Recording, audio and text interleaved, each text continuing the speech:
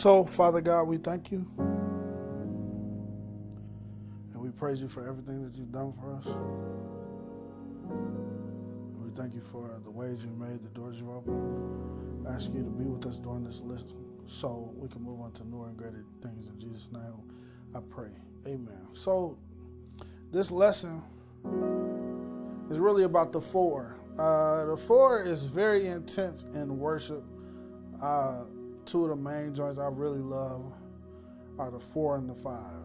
But today we're going to kind of deal more so with the four and what you can do, what you can apply to the four, and then how you can build out of the four. Uh, uh,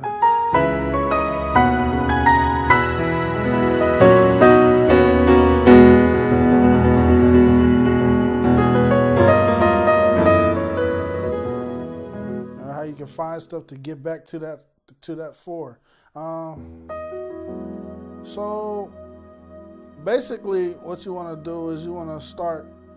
Uh, we're in the key of B, so let's learn the scale because that's going to help us out a whole lot. So we have B, C sharp, E flat, E,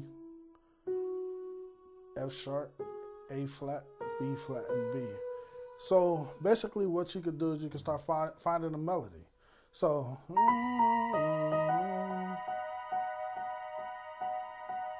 Oh. When you add that four, it's going to do something.